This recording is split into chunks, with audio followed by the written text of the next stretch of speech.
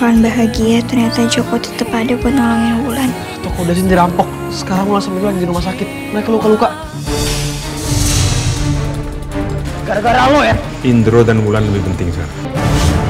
Itu bener-bener jahat tau gak? Gara-gara lo, Indro sama Wulan masuk rumah sakit, Ria.